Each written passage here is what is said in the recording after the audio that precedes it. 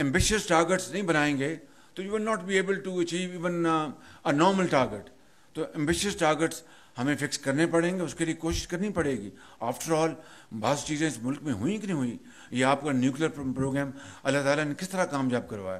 पूरी दुनिया उसके खिलाफ थी, और वो बड़े पावरफुल लेंस से हर चीज़ देख रही थी कि क्या शिपमेंट पाकिस्तान को जा रही है, वहाँ से क्या आ रहा है गल्फ से क्या आया, फलां से क्या आया।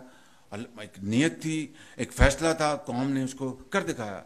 तो अगर हम न्यूक्लियर ताकत बन सकते हैं तो हम एग्रीकल्चर में आईटी में इंडस्ट्री में न्यूक्लियर ताकत क्यों नहीं बन सकते?